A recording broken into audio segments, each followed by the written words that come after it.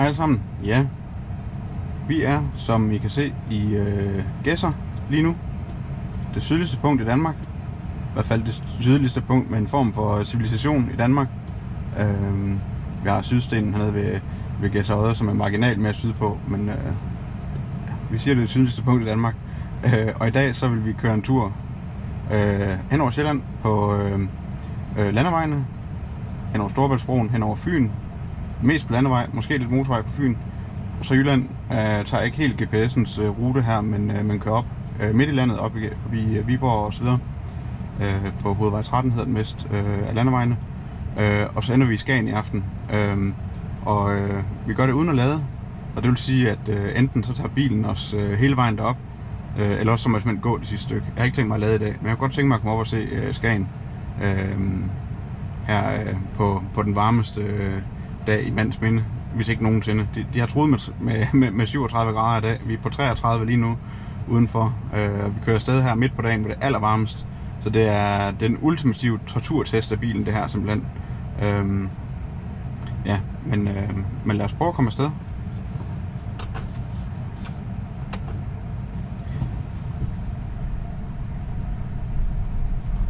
Og det skal lige siges, at jeg kører efter min øh, mobiltelefons GPS. Den er sat til en, øh, en rute, der undgår motorvej.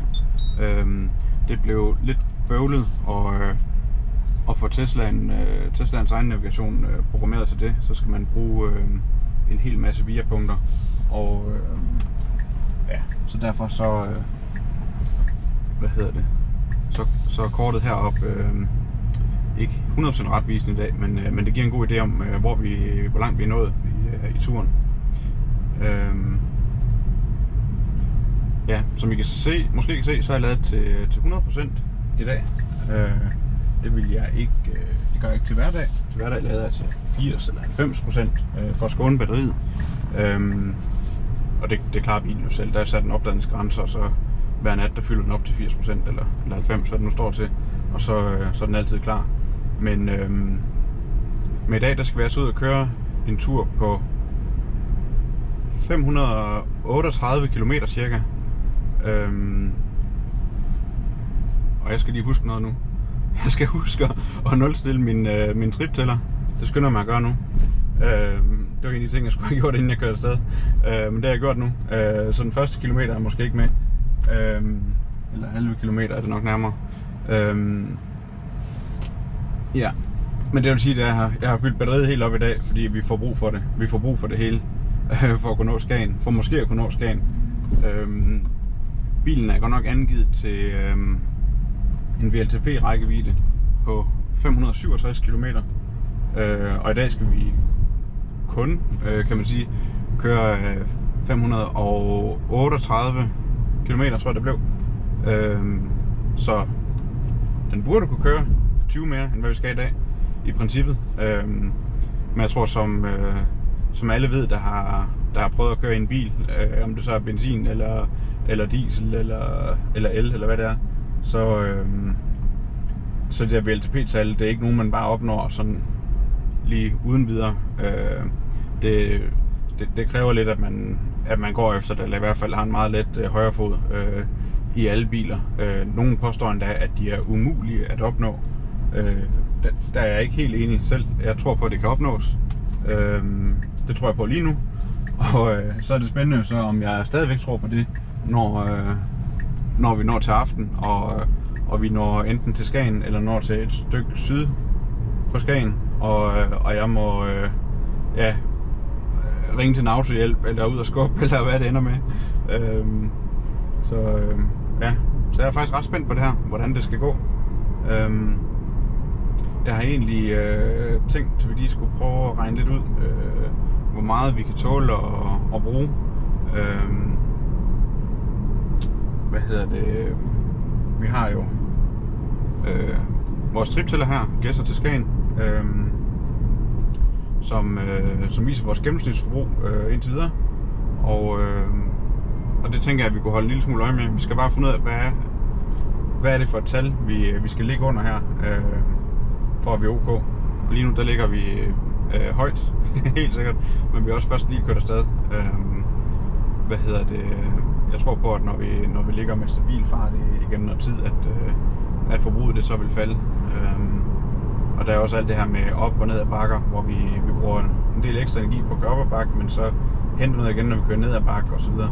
Og det, det kan alt sammen gøre, at, øh, at lige i starten af sådan en tur her, så, øh, så kan tallene se, øh, se noget skæve ud, øh, indtil man, man lige får, får balanceret alle de her ting.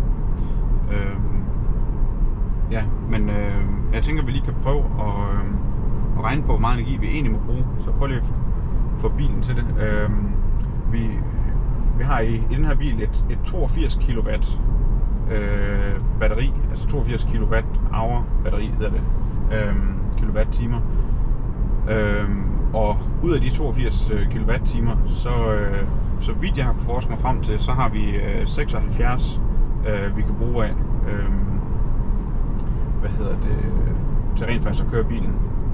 Øh, og i dag skal vi køre de omtalte 538 km.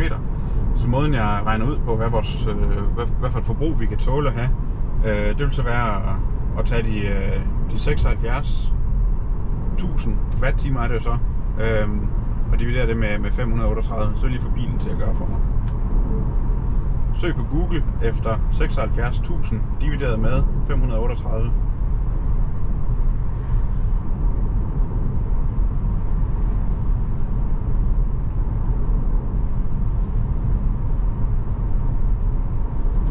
Okay.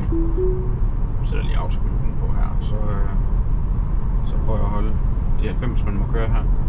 Øhm, 141, noget øhm, watt hour per kilometer Altså det det, vi må bruge. Øh, så ender vi med 0 tilbage, øh, når, vi, øh, når vi står op øh, ved, ved vejs ende op ved, ved Skagen. Øh, hvad hedder det? Øh, der er lidt omkring noget sikkerhedsmarken og sådan noget. Øh, ved 0% øh, på bilen, der, der skulle der være 20-25 km rækkevidde tilbage. Øh, det har jeg ikke tænkt mig at bruge noget af. Øh, jeg, jeg, har, jeg er ikke tryg ved at køre under 0%, det har jeg ikke prøvet endnu. Øh, jeg ved, at der er rigtig mange, øh, der har haft elbil i mange år, der har prøvet det masser af gange. Også en gang imellem har prøvet at skulle slæbes videre. Øh, det er ikke min ambition at skulle prøve det i dag. Øh, men øh, jeg aner simpelthen ikke, hvordan det her det skal ende. Øh, så, øh, så jeg tænker, hvis vi prøver at sætte os et mål, der hedder 140 øh, watt-hour per kilometer, så har vi en lille smule ekstra buffer. Øh, og, og der er så også det ved det, at jeg ved ikke, om vi præcis har de der 76 øh, kWh øh, tilgængelige her. Øh, bilen har kørt 36.000 km, så der er, lidt, der er selvfølgelig lidt øh, initial degradation på sådan en batteri. Øh, de har det med at miste et, øh, ja, en ordentlig bid af rækkevidde lige i starten, og så mister de en lille smule øh, hvert år øh, derfra. Så, øh, så selvfølgelig, så mangler den her en lille smule i forhold til en fabriksny bil. Øh, og så er der også det der med, at jeg ikke helt ved, om, om de 76 kW, om det er med den der 20-25 km rækkevidde, hvorfor der skulle være under 0, eller det ikke er. Øh, ja, så selv med 140 i forbrug, så tror jeg, at vi, vi nemt kan blive presset, så det er lidt, øh, det er lidt spændende det her. Øh, men nu har vi i hvert fald et, øh, et mål at gå efter, kan man sige.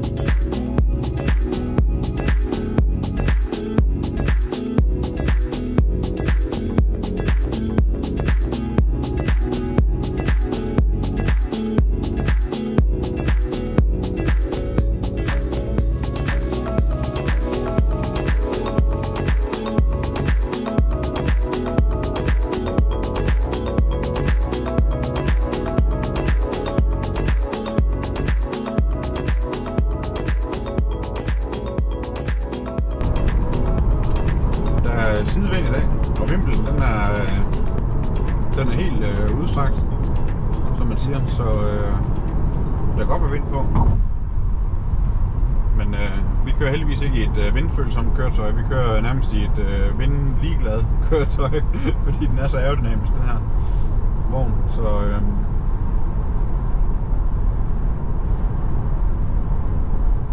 ja.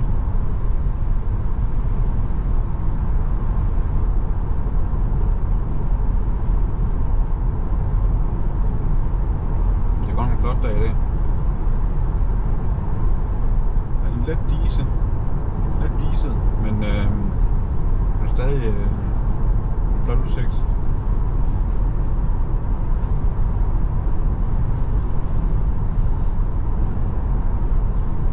Vi prøver at se, hvad det gør ved vores energiforbrug, det her. Så jo, de sidste øh, 50 har vi ligget øh, på 126 watt-hour per kilometer. Og på de sidste 10, 65, hvor der var på kilometer. Og det er ret tydeligt at se, at øh, motorbremser her, eller regen, øh, hen til øh, betalingsanlægget på broen, og så bruger vi en masse energi på at accelerere op på 110, øh, og bruger også øh, generelt bare meget mere energi nu på at holde øh, ja, de her 156 stykker, vi kører nu, øh, op ad bakken i øh, hård sidevind, øh, i forhold til hvad jeg brugte før på at trille, trille øh, med 80 km i timen. Det er, øh, det er ret vildt, så stor, øh, så stor forskel det gør. Og, øh, men det, det gode ved det er jo, at, øh, at snart vi øh, når over bakketoppen her og begynder at køre ned ad bakken, så, øh, så får vi noget energi tilbage. Så, øh, så kan vi jo bruge øh, tyngdekraften. Vi, vi oplever jo kinesisk, kinetisk, ikke kinesisk, kinetisk energi, når vi kører op af, af bakken her. Øh, og, og den energi får vi tilbage, når vi kører ned ad bakken. Og i sidste ende, så er vi under det hele så. Jeg kan huske, jeg var fascineret første gang, jeg hørte om, at i en fossilbil, at øh, med, med, hvad hedder det, med elektronisk indsprøjtning og sådan noget, man så bruger nul brændstof, når man slipper speederen. Man kører ned ad lang bakke for eksempel. Der er altid brugt meget motorbremse og sådan noget. Så jeg, synes, jeg har fundet det så fascinerende, at man brugte nul i brændstof, når man kører ned ad bakke. Øh, men det er jo ingenting i forhold til, hvor, hvor fedt det er, at man faktisk øh, kan bruge negativ brændstof, når man kører, kører bjergkørsel i en elbil. Øh, der er tit hørt om folk, der kører ned af, af store bjerge, som har, har opladet øh, mange procent, 5-10 procent øh, batterikapacitet på, på den måde. Det synes jeg er ret fedt. Øh, nu tror jeg faktisk, vi skal prøve at lægge ind til en overhaling her. Vi er jo på motorvej trods alt, så... Øh,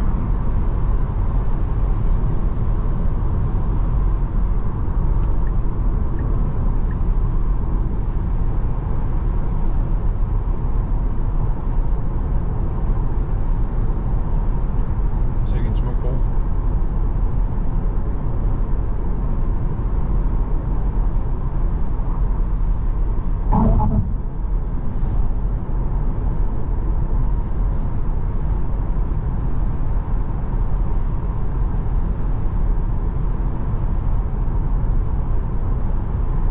Okay, er der nogen, der kan se på grafen, øh, hvor vi nåede toppunktet på broen? det, er, det er rimelig tydeligt. Og vi kører stærkt nok nu, og hældningen er svag nok til, at vi, vi bruger lidt energi på at, at holde farten oppe. Øh, men stadigvæk er der ingenting i forhold til, at man bruger øh, på stigningen, kan man sige. Og, øh, jeg var i Frankrig i, i, øh, i sommerferien i år, og der, øh, der kørte vi på nogle, øh, på nogle nedstigninger, hvor at, øh, at jeg faktisk øh, hvad hedder det, legede med at sætte bilen i, øh, i neutral, og så rulle med 140 øh, dernede af, og der kunne faktisk holde øh, 140 km i timen på, øh, på motorvejen. Øh, bare, bare med tyngdekraften. Og det er klart, hvis du så ikke sidder neutral, og du slipper speederen helt, så motorbremser den jo nok til, at farten vil blive mindre og mindre og mindre. Øh, og så skal man så rulle med, med 110 ned ad bakken, så modererer man jo bare, hvor meget gas man giver. Og så kan man jo ligge, ja, man kan se her nu, at nu, lige nu der, der laver der regener vi en lille smule. Så vi ligger faktisk lige omkring nullet i øh, energiforbrug nedad her. Øh, det går lidt op og ned, og det er, også, det er jo vindstød og, og noget med farten, og hvor tæt er jeg på den foran, og, og alt det her. Så øh,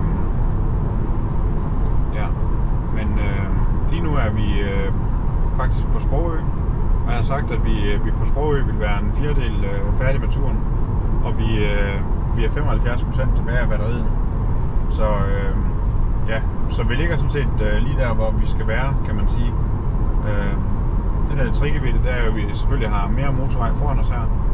Øh, og det, øh, det koster, men øh, jeg tror på, at vi har råd til det. Øh, fordi at vi, øh, ja, det sidste lange, lange stykke af turen bliver øh, uden noget motorvej overhovedet. Øh, så der burde vi spare noget op. Så øh, ja, så vi kommer nok vi kommer nok til at stå en lille smule i gæld efter, efter det her motorvej, men, øh, men så satser jeg på at hente det igen senere, øh, så, vi, øh, så vi kan nå Skagen. Øh, det er i hvert fald planen. Jeg tror, vi er nødt til lige at lave nogle mere igen. Ellers bliver det simpelthen for økonomisk det her.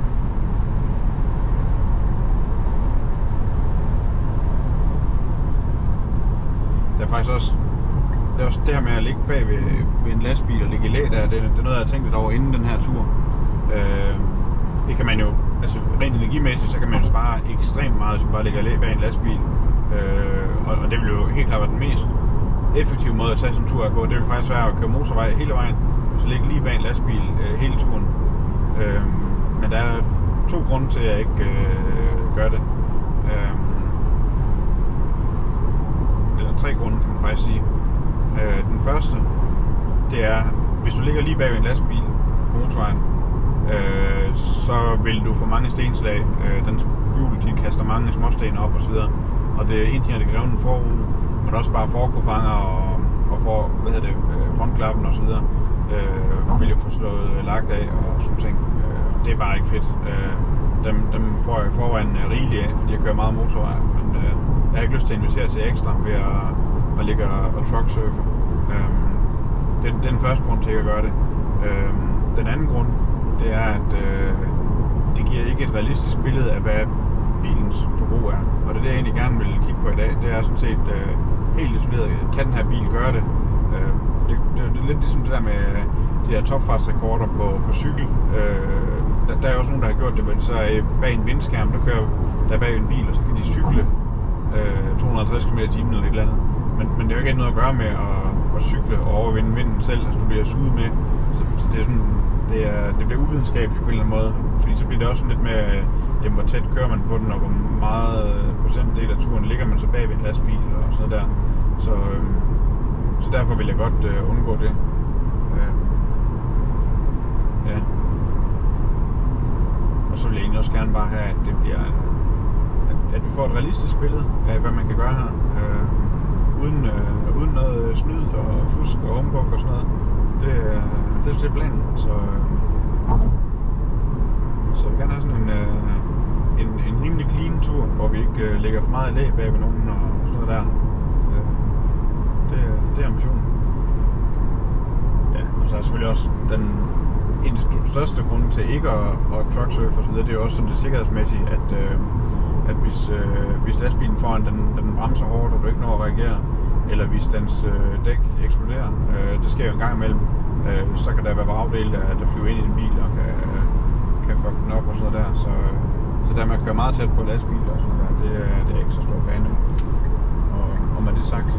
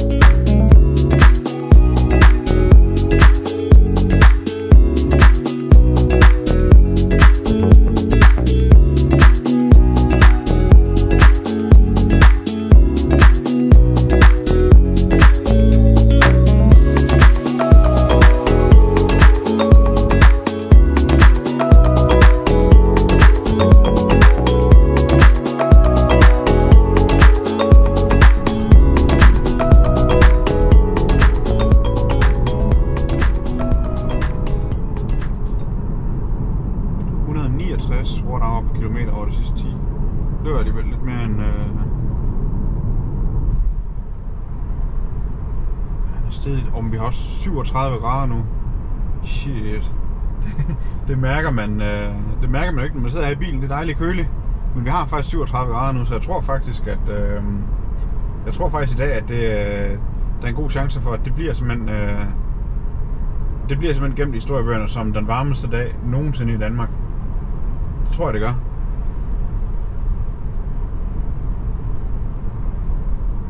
Det tror jeg, det gør. Sindssygt. Jeg troede, det, jeg troede faktisk, det var i Midtjylland, jeg ville ramme øh, de højeste temperaturer, og ikke, øh, og ikke her på Fyn. Men, øh, men der kan man bare se. Så øh, vi har brugt lidt mere her over de sidste 10 km end, øh, end tidligere. Øh, men øh, selvom at vi laver regen, når vi stopper hen mod lyskryds, så, så det vi skal accelerere afsted igen, der, der er altså lidt tab der i forhold til bare at, at rulle afsted. Øh, så der stop and go øh, bytrafik der, det er ikke sådan det bedste. Men øh, det tror jeg synes også, vi er igennem det værste øh, på den her tur. Øh, nu er vi igennem Odense. Det, øh, det tror jeg faktisk, at det burde være rimelig smooth sailing nu her. Øh, der kommer selvfølgelig også noget, der hedder Aalborg og sådan noget en gang, men øh, og der tænker jeg, at vi er så langt hen på dagen, at der ikke er det store trafik.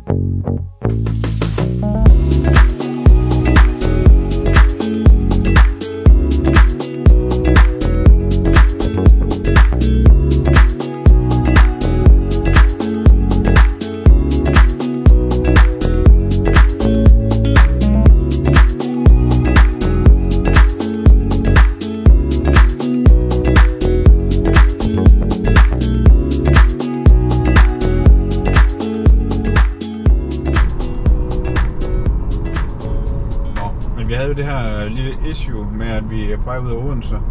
Øh, fik brugt helt utrolig meget energi, og jeg var meget i tvivl om, om det var fordi, vi var ved at klatre op af, eller, eller hvad det var. Øh, så vejen jo kører op og ned af bakker, så er stadigvæk i, i gennemsnit har den en eller anden øh, stigning eller, eller fald. Øh, men øh, som man kan se nu, så er vi nede på 117 watt per kilometer på de sidste 10 km. Øh, og det var 160 før øh, med cirka de samme hastigheder øh, bare ud af Odense. Så formentlig så, øh, så er det der sket, at, øh, at vi ligesom er kravlet op på en højderyg, og så har været kravlet ned her det sidste stykke. Det er, det er den historie, jeg, jeg hægter mig fast i i hvert fald. Øh, jeg var lidt nervøs for, om det var temperaturen, der ligesom kammet over et punkt, hvor bilen bare bruger rigtig meget energi på at holde, øh, holde det koldt herinde. Men det tyder det ikke på, øh, for den er kun faldet 1 grad fra, fra 37 til, til 36 grader temperaturen ude. Øh, så jeg, jeg tror ikke, det er det. Jeg tror simpelthen, at det er, at det er højdeforskel, og, og de er jo i princippet ligegyldige, fordi at det i sidste ende øh, øh, går i nul. Øh, fordi vi jo startede, øh, hvad hedder det, nogle få meter over havet øh, ved havnen i Gæsser, og vi slutter jo også nogle få meter over havet øh, i Skagen. Øh, så, så alle højdeforskelle, det burde gå i nul. Øh,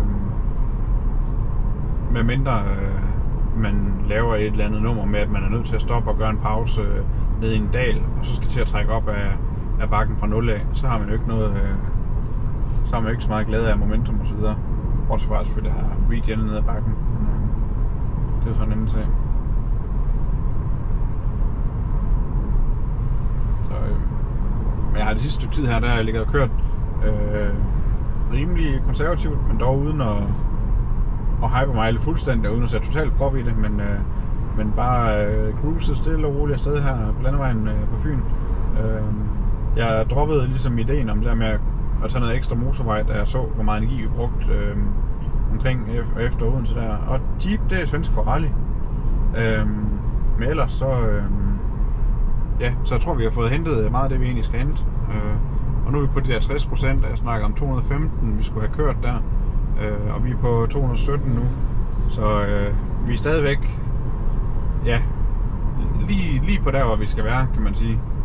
Så øh, ja, uden at det er prangende, så, øh, så har vi da en chance i hvert fald.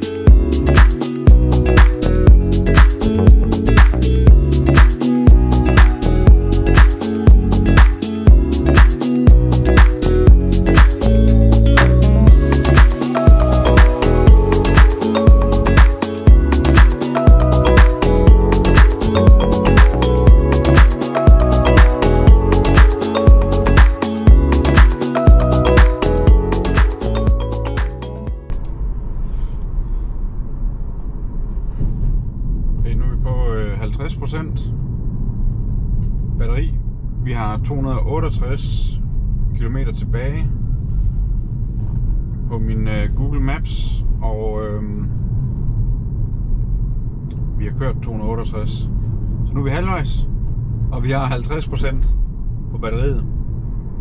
Øh, hvor episk er det lige? Så øh, mm, vi kommer til at rulle ind øh, i Skagen øh, med 0%. Hvis, øh, hvis alt, øh, alt går som det skal. Øh, om vi så kommer hjem igen, det er så en anden sag, men øh, ja.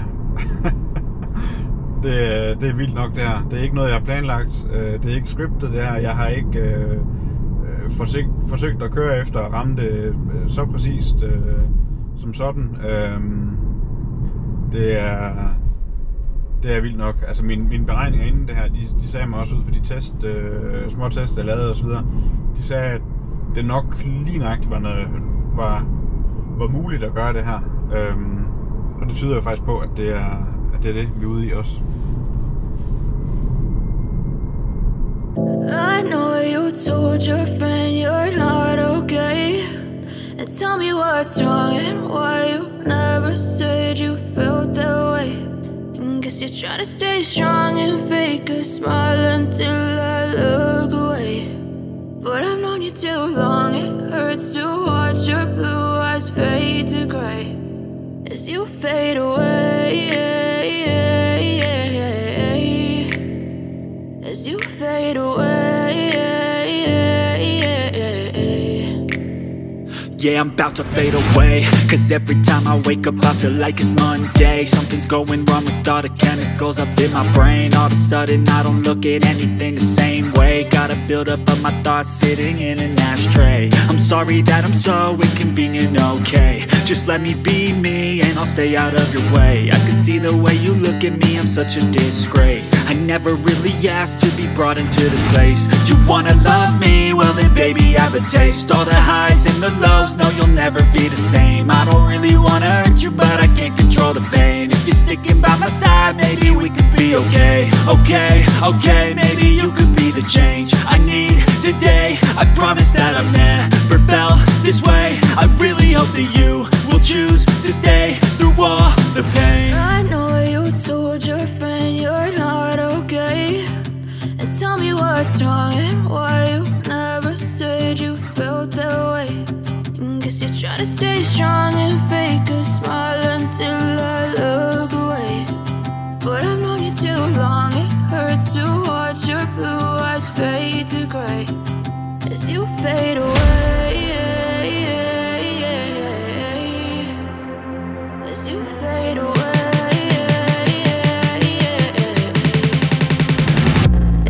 Fade away.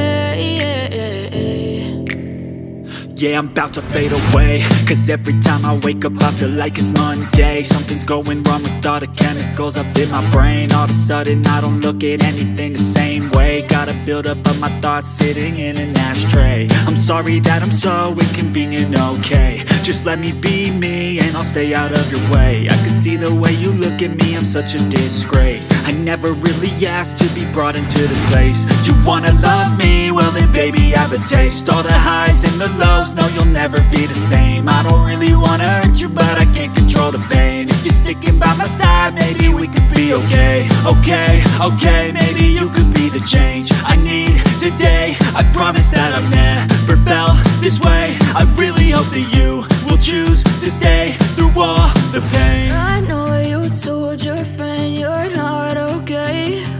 And tell me what's wrong and why you never said you felt that way. Trying to stay strong and fake a smile until I look away. But I've known you too long, it hurts to watch your blue eyes fade to gray as you fade away.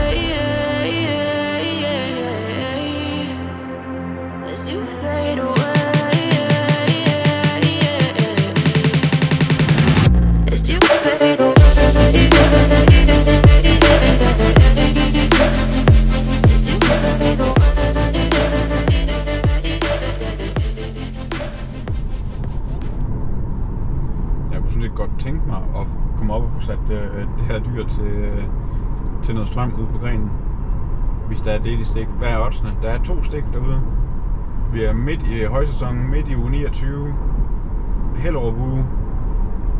Den varmeste dag i Danmarks historien. Nogensinde. Øh, det, det brimler med øh, nordmænd, der, der også er i Danmark. Mange af dem er første gang i et par år efter corona og alt muligt andet, som alle sammen kører øh, Tesla og alle mulige andre elbiler. Øh, hvad, hvad er chancen for at kommer til at lade deroppe? Det er ikke, øh, det er ikke givet. Det er overhovedet ikke givet. Men altså, worst case, så øh, kan man jo øh, måske øh, hænge ud, indtil det bliver ledigt. Fordi folk skal nok hjem og sove på et tidspunkt. Men selvfølgelig holder der to, der, hvad hedder det, der kamperer derop og tænker sig at sove der i nat og så videre. Så øh, kan det selvfølgelig blive svært, men så kan man måske øh, overtale en af dem til at lade, lade mig låne stikket et halvt time. Øh, ja, vi skal sgu nok klare det. Og ellers så har vi strøm nok til at nå tilbage til Skagen. Hvad er det jo ikke?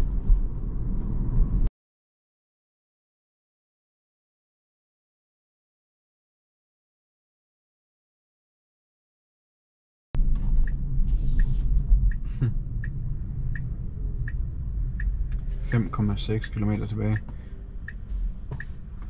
Ja. Vi er simpelthen i Skagen nu.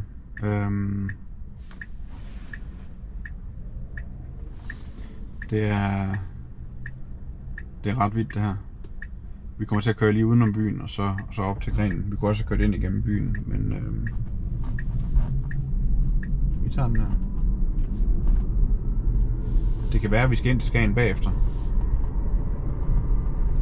Måske efter strøm, eller måske bare for at se byen. Men øh, wow.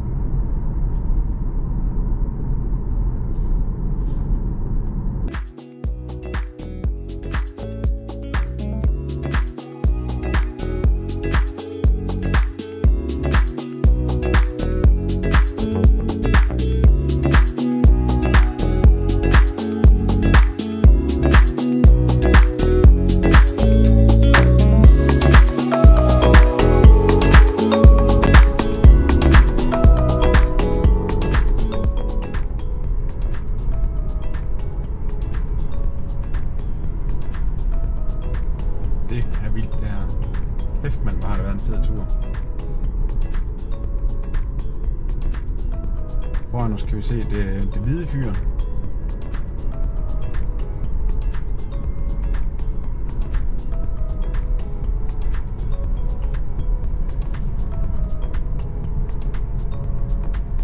Vi er simpelthen... Vi er der jo. Der er ikke andre ord for det. Planlæg næste opladning. Okay. Nu er det. Vi har 4% tilbage. Vi kan køre langt endnu. Vi kan køre 30 km mere eller sådan noget. Jeg tror faktisk, vi kan køre 30 km mere. Hvis vi kører langsomt nok, kunne vi sikkert køre hele vejen tilbage til Jørgen til Supercharger.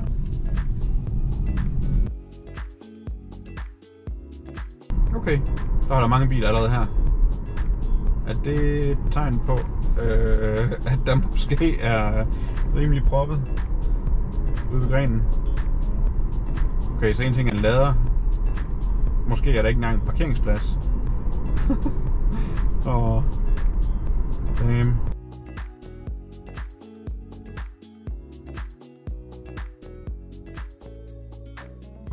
Nu er vi simpelthen nord for Skagen. Vi er på Fyrvej. Vi er på vej ud til, til, til vejs ende herude, øh, hvor, øh, hvor Sandormen, den berømte øh, traktor med, med vognen efter, den også øh, kører afsted fra. Og øh, ja, det er simpelthen for vildt det her. Det er for vildt, at, øh, at bilen ikke alene klarede det, men den gjorde det uden at vi måtte øh, ud i en eller anden ekstrem hypermiling taktik. Jeg har ikke haft aircondition øh, slukket, jeg har ikke kørt nævneværdigt under det tilladte. Jeg gør selvfølgelig her, men altså, det er sådan en sikkerhedsting. Øhm, og vi har 4% tilbage stadigvæk. Det er for sindssygt. Det er for sindssygt. Kæft, hvor er den vild, den bil her.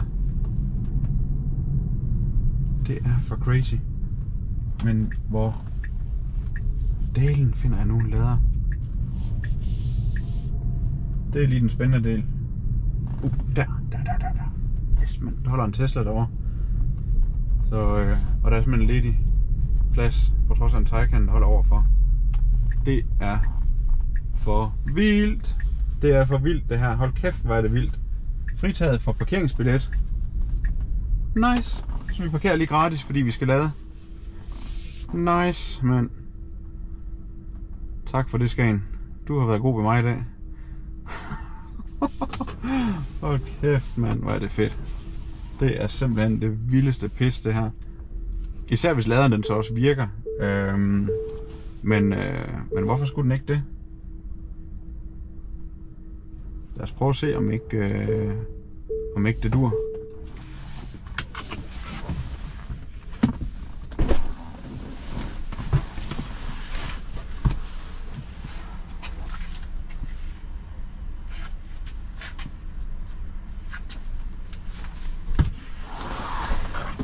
Hov, først så skal vi lige se noget.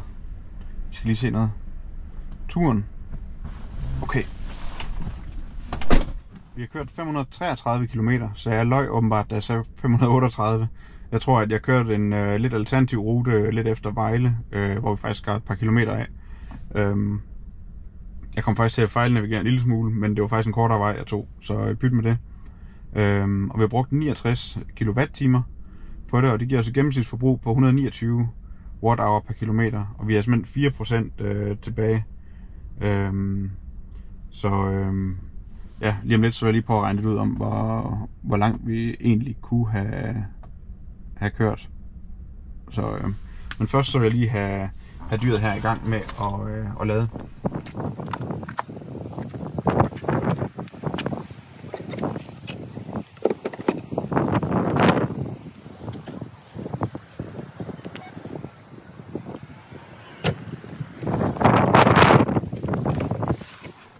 Hvor svært kan det være?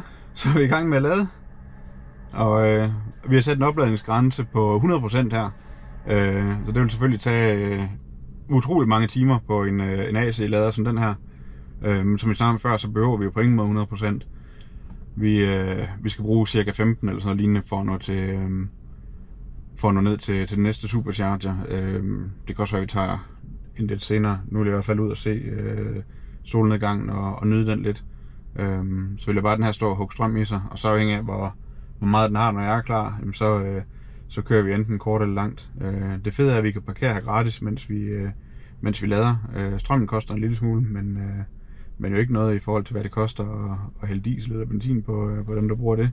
Så øh, ja, jeg er i hvert fald glad, og øh, ja, hvor er det bare, øh, hvor er det bare sindssygt, at vi klarede det her.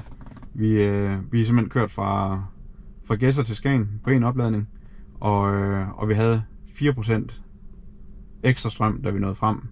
Øhm, så øhm, ja, jeg kan lige prøve at lave, øhm, lave udregningen øh, hurtigt her på, øhm, hvad hedder det, øhm, hvor langt vi, øh, hvor langt vi kunne have kørt. Øhm, så vi har kørt 533 km på 96 procent. Øhm, så hvis jeg siger 533 divideret med 96, så får jeg 5,55 km øh, per procent. Øhm, og hvis jeg ganger det med 4, så får jeg 22,2 km ekstra, vi kunne have kørt. Øhm, så det vil sige, at vi kunne have kørt øh, 555 km med det forbrug, vi havde. Så øh, ja, 12 km under VLTP ligger vi på øh, med de 0%. Øh, men der er så også det der med, at man ved, at der er 20-25% buffer under 0. Så realistisk kunne vi sagtens have kørt VLTP, de 567. Øh, og jeg vil sige, at det her det er i hvert fald øh, på alle måder godkendt. Jeg er ovenud øh, tilfreds med det her.